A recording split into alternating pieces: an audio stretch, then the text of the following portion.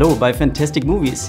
Wir sind hier bei den Interviews zur Fortsetzung vom Lego Movie, der zweite Teil. Und ich habe Oliver Kalkofe neben mir. Ja, Hallo. Wahnsinn. Du siehst so anders aus. Hast du dir Bartstoppeln angemalt? Was? Nein. Du spielst eine Eistüte, also du sprichst eine Eistüte. Ja.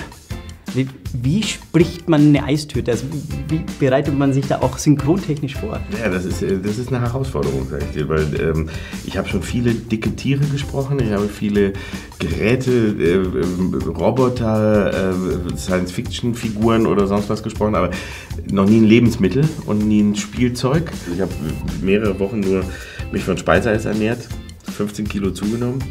Na, so, kennen wir beide. Ähm, und äh, dann habe ich mich aber natürlich äh, also auch gemerkt, die nächste Schwierigkeit war, ich hatte mich sehr auf so Richtung Vanille konzentriert. Und dann ging es in, war es erst so, hieß es Erdbeeren, Pistazien, weiß nicht, wir haben dann 26 Geschmacksrichtungen gespielt, also aufgenommen.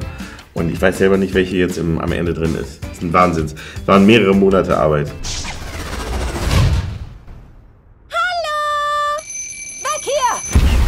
Wir haben Legos heute mit dabei und wir versuchen jetzt während dem Interview ein bisschen was zu bauen. Ja. mal. Äh, Ich bin ein sehr, sehr schlechter Lego-Bauer, muss ich Ja? dazu sagen. Ja, ich hatte als Kind äh, Lego-Steine, auch so wie hier, weil da gab es noch nicht diese ganzen tollen ähm, Sachen, die es heute gibt. Ne? Also wo du ja wirklich, du kannst ja heute den Big Ben und äh, äh, Filmgeschichten und sowas da nachbauen. Und ich hatte wirklich nur solche.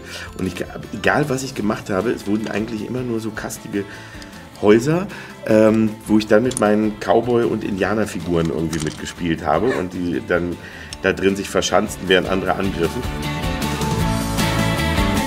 du verstehst die Faszi- Faszination. Äh, Total, Lego, total. Ich verstehe die und ich verstehe die auch deswegen, weil ich dann jetzt, als der erste Film rauskam, bin ich danach in den Laden gegangen, habe mir das erste Mal so ein, so ein Set gekauft, nämlich wirklich äh, Spider-Man gegen Dr. Octopus beim Geldtransporterüberfall. Und dann habe ich das aufgebaut und habe jetzt äh, auch überlegt, dass ich mir jetzt mal wieder irgendwas holen muss, weil es jetzt so tolle Sachen da eben gibt.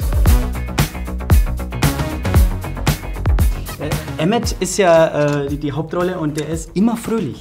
Sagen wir so, immer fröhliche Menschen, die gehen einem doch vielleicht irgendwann auf den Zeiger, oder? So ein bisschen der, oder, Peter, brauchen wir. der Peter Orloff so von der, von der Lego-Welt. Ne? Ja, das ist echt, äh, ich finde das auch, finde das auch äh, anstrengend, sagen wir mal so. Ich habe einerseits Bewunderung dafür.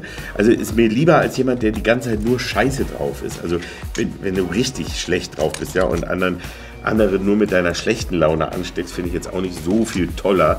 Aber so ein gesundes Maß an ne, auch mal zwischendurch ein bisschen scheiße drauf sein, finde ich, ist schon, ist schon nötig. Also äh, deswegen. Aber Emmett ist einer der wenigen, der trotzdem, wie ich finde, sehr lieb, äh, also den man trotzdem irgendwie dabei sehr sympathisch findet und äh, den man auch irgendwie für seine Naivität ja manchmal ein bisschen bewundert und vielleicht sogar beneidet, weil der halt so gar keinen Argwohn hat ne? und so gar nichts Böses sich vorstellen kann und Ja. einfach mit allem glücklich ist, obwohl ich das nicht sein kann. Dazu meckere ich auch viel zu gern und, und äh, kämpfe auch viel zu gern gegen den Wahnsinn oder gegen Dinge, die mich nerven und deswegen könnte ich das nicht. Emmett, du musst aufhören, so zu tun, als wäre alles super. Das ist es nicht. Ja, schon klar. Deswegen habe ich mir eine total harte Seite zugelegt, die super tough ist und hey, da eine Sternschnuppe, wünsch dir was!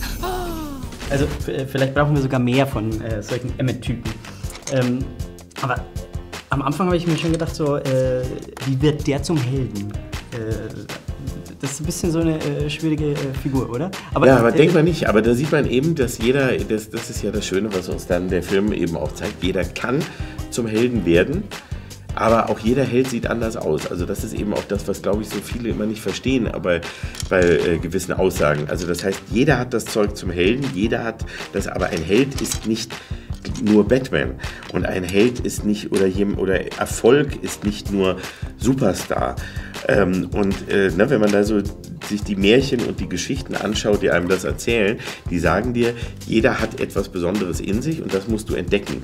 Und das wird immer falsch interpretiert von den meisten Menschen. Die denken, ach so, wenn ich nur will, kann ich auch Superstar werden und wenn ich will, kann ich singen. Also ich kann zum Beispiel auch, so, ich, so sehr ich es möchte, ich werde kein Spitzensportler mehr.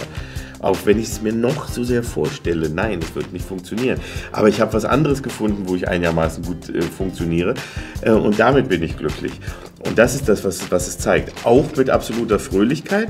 Wenn man nicht kämpfen kann oder so, kann man, in der, wenn die Situation es verlangt und man da richtig reagiert, plötzlich zum Helden werden und andere sogar anführen. Wir zeigen noch ganz kurz her, was wir äh, bis jetzt geschafft haben. Ja. Äh, bei dir ist es eine. Äh, Ich habe gedacht, ich mache was Nützliches, weil mehr kann ich auch nicht. Ja, und habe gedacht, hier, äh, das schicken wir nach Amerika, kannst du Trump schicken. Ich habe seine Mauer gebaut, dann kann er mit dem Shutdown-Scheiß aufhören und äh, sich Aber eine farbige Mauer, Eine, oder? eine bunte Mauer soll Eine ja ein bunte bisschen, Mauer. bisschen lustig, ein bisschen, bisschen Freude ins Leben bringen und gut ist. äh, ich denke, es ist ein Raumschiff. Ich weiß es nicht ganz. Ja, das kann aber auch einfach nur ein bunter Klumpen von alten Legosteinen sein. Vielleicht- also das äh, Schöne, man kann ja alles behaupten. ja, äh, ja, kannst du machen, kannst du, oder schick es nach Amerika und dann ist endlich Ruhe mit dem seh schon. Scheiß. Das fände ich Wir sind gut. zwar am Ende vom Ja? Interview angekommen, aber äh, äh, Oliver baut hier jetzt wahrscheinlich noch noch, weiter. bau die noch sauber, weißt du, hier kommt sonst einer rüber. Das wollen wir ja nicht, ne? Ich muss da noch, noch oben fertig bauen. Zum Ende, äh, bei diesem schönen Kunstwerk muss Ja. man klatschen. Erklär kurz klatschen. Geht wie? Das sprichst du auch? Also, du, du kleine Kind, ne? Die Hände zusammenführen und dadurch ein Geräusch erzeugen, dann wieder auseinander und wieder zusammenführen und das wiederholen. Nicht so einfach, aber Dankeschön. mit ein bisschen Mühe Wir bauen weiter. Ja. Servus. Tschüss.